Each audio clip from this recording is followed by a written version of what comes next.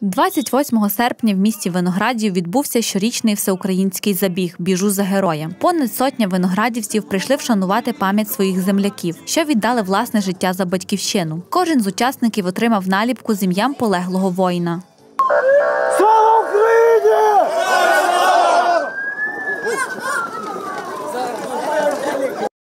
Опісля урочистої частини учасники рушили долати дистанцію в 2 кілометри до Виноградівського замку. На локації розгорнули державний стяг та під гімн випустили в небо синьо-жовтий прапор.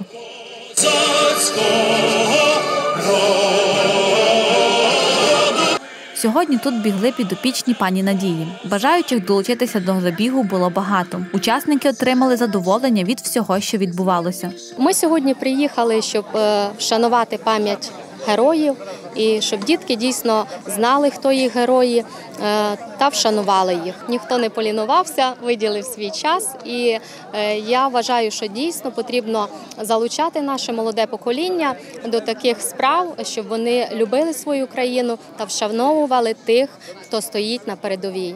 До забігу долучилися молодь та діти. Кажуть, шанувати воїнів АТО потрібно, адже вони захищають увесь український народ на передовій. підтримати м, героїв. А то Цікаво. Побільше б таких масових заходів. щоб вшанувати пам'ять героїв АТО. А чому цю тему важливо піднімати на вашу думку?